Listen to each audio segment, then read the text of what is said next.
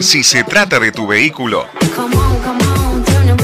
en ML Center encontrarás todo lo que necesitas. Seguridad, accesorios y la mejor tecnología en audio y video. Láminas de seguridad, alarmas, radios multimedia y todo lo que buscas para tu vehículo está en ML Center. Más de 25 años a la vanguardia. Estamos en Ferrer Serra 1909 esquina Inca. Teléfono 2402-3423. Visitanos www.ml.com.uy.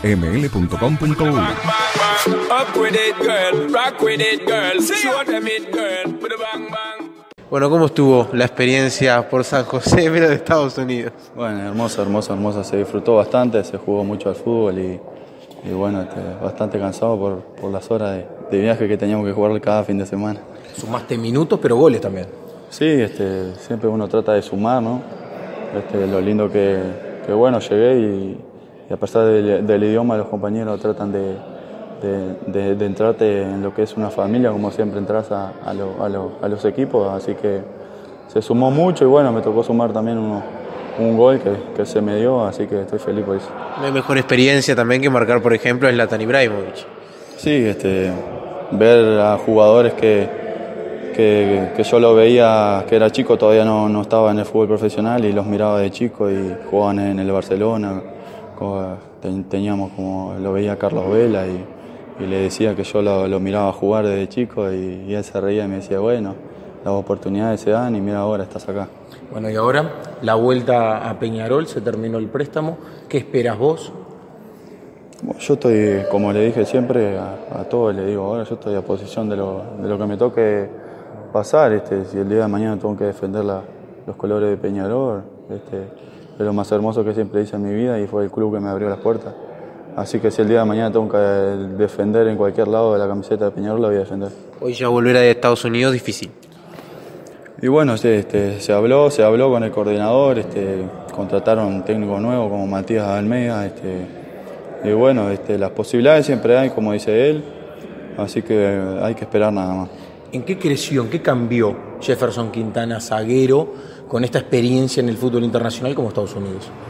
Bueno, este, yo creo que me tocó jugar mucho a dos toques porque es un, tenés que jugar dos toques porque allá te llevan la pelota, tenés que jugar, salir jugando, te obligaban a salir jugando, no, no pegábamos un bombazo para arriba, se jugaba mucho al fútbol. Este, después la experiencia de, jugar con jugadores que, están a un nivel más allá de lo, de lo que son los jugadores, ¿no? Este, uno se acostumbra, no, no voy a decir que no, no me tocó marcar a buenos jugadores acá, pero no vas a comparar un jugador de acá con, como decir, como el Latan Ibrahimovic.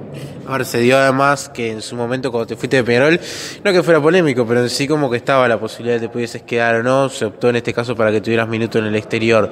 Eh, ahora la expectativa está en vos en volver, querés volver, querés revancha, ¿cuál es un poco tu objetivo en sí, dependiendo obviamente de lo que pueda ser la decisión del técnico o la gerencia? Sí, eso te, está en la decisión del técnico, si a mí me toca quedar, yo soy con gusto de quedar en Peñarol, porque soy hincha de Peñarol y, y agarro la camiseta y la peleo con quien sea, con Peñarol y y eso lo tengo demostrado en cualquier lado. Así que este, si me toca quedarme, a quedar y voy a hacer todo lo posible para jugar. ¿Seguiste la campaña de Peñarol? ¿Estuviste en contacto con ex compañeros tuyos que ahora integran el plantel?